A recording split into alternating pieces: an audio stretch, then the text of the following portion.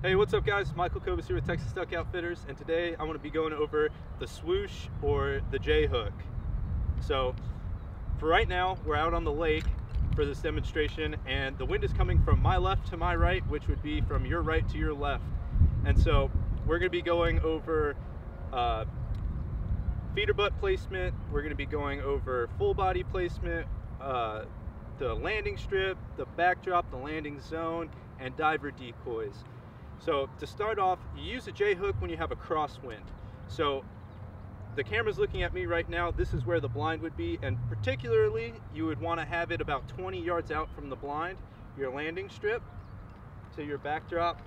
So you have your landing zone about 25, 30 yards out, which is about an average shot. And you know, you have the wind coming from either left to right or right to left, so that way the ducks funnel down the landing zone into the backdrop with their breasts up, you're gonna get a cross, you're gonna get a side shot on them, but they're still opened up enough to where you can drop them in one shot. So let's get into it. All right guys, so with the feeder butts on this spread, you either want them to be at the very end of the landing zone, close up to the shore, because right now, the way that the ducks are gonna be coming in, the wind's coming from my left again, coming towards the right, so the ducks are gonna swoop in like so, and come right down here. So you want your feeder butts tucked up against the shore, out of the way, where there's vegetation. You can either have them here at the end, or you can have them on the inside of the of the uh, runway. And then you want your surface feeders. You can have your surface feeders kind of like at the tail end of the runway, but not connected. You want them in a little tighter still, and again, for the purpose of this video, you have to understand that your landing zone is going to be 20 yards off the bank. So right now, it's a little skewed your perspective, but you know, you push this out, you keep the surface feeders tucked in, and then you want your full bodies. You want your full bodies either kind of with the feeder butts or maybe tucked up off the bank a little more for this for this scenario, we have two feeding full bodies, so it simulates ducks standing up in the water munching on the vegetation. All right guys, so right now we're gonna talk about diver placement. And again, for the purpose of the video, we've scaled down the decoys a little bit. Typically we'd have about a dozen divers out here. And what you wanna do with your diver decoys in this situation, you wanna isolate them, all right? whether it's early season or late season, you want your divers isolated. They're gonna be kind of around the bat, the mass of the dabblers, but they're gonna be in a little bit deeper water by themselves. And you're gonna see your redheads, your canvasbacks, your bluebills, your scaup, and the majority of other divers go right into those decoys. So you want them either in front of the backdrop, which is right there, isolated by themselves, maybe out a few more yards, because if you think about it, in the blinds right down the bank to my right right here, you're still getting a 35 yard shot on these birds, and they're coming across like so, so you're gonna have time to pull up and aim and get a good shot placement on a duck. Now, now we're gonna move into the back. All right guys, so the backdrop is called the backdrop because it's meant to stop the ducks. So this is where you wanna have the bulk of your spread. All right, so you want your mallards, your widge, a few widgeons, some teal. Like you want a good variety up here. And preferably throw all of your teal in here because they're gonna stick with the majority of the mallards. They're gonna go towards the bigger massive ducks. And then with your pintail, you're gonna want your pintail out a little farther off the backdrop and isolated slightly.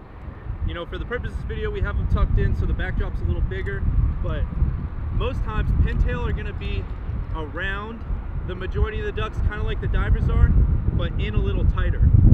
So you would have your, you know, if this was the edge right here of my backdrop, let's say, I'd have these four uh, pintail pushed out about five feet. Because pintail are gonna land more towards the open water. They're gonna come in real high and slow and then drop down right into the middle of the open water. So now we're gonna get into the landing strip. All right guys, so right here, you can see we have the landing strip. So how you want your decoys, you want them, want them staggered. You don't want them just in a straight line, you want them staggered a little bit, kind of like they're just floating in a line. You know, they're they're ready to take off whenever if they need to, but for right now they're just kind of chilling. So this is where you can have some mallards, you can have a few gadwall in here, some widgeon, you know, kind of mix up the ducks. You know, like I said, you want the majority in your backdrop, but the landing strip is designed just to guide the ducks down the runway. Know, just guide them right on in, rest, wings out, like they're stopping. They're hitting that wall at the backdrop. So now we're gonna move into the landing zone. All right guys, so this is the landing zone or the runway.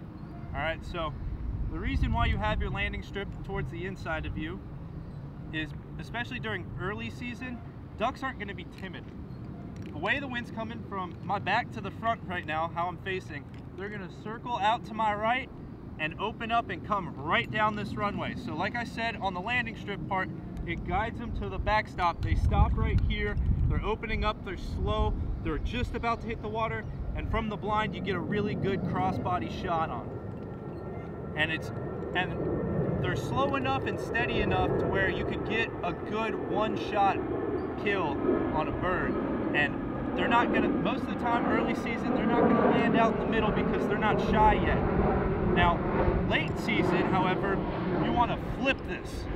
So right now, I have the landing zone facing the blind, or closest to the blind.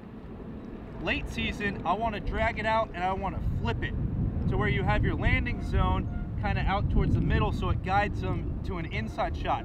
Now you have to be careful with this because you could shoot your decoys. So you're taking a little bit faster shot at the bird and when they are committing, they run, they come right down this runway, they hit this backdrop and you got them.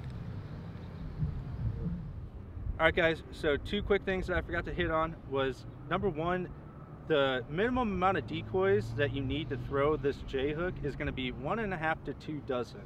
Mainly because you really need a sufficient number of decoys in the backdrop and your runway can vary vary from about like you know eight birds to you know 20 if you really wanted to you know that's if you're throwing like a five dozen J spread J hook which you can do another thing is is that when you have high volumes of wind and a, like a strong wind coming across you want all your decoys clipped facing front or facing into the wind because what that simulates is they're ready to take off if they have to. And that's how you're gonna see ducks out on the main bodies of water. Now, when you have a slight breeze and you know, you're gonna be throwing a pulsator and a jerk rig and stuff to add movement into your spread, you can have them, you know, half and half facing different ways because they're gonna look more relaxed.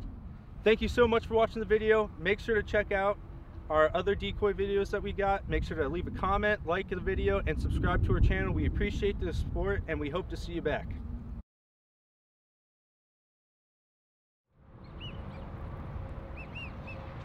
goes.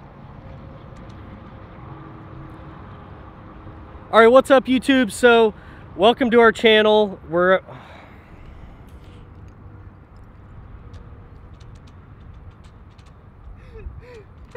What's up? What are you laughing at?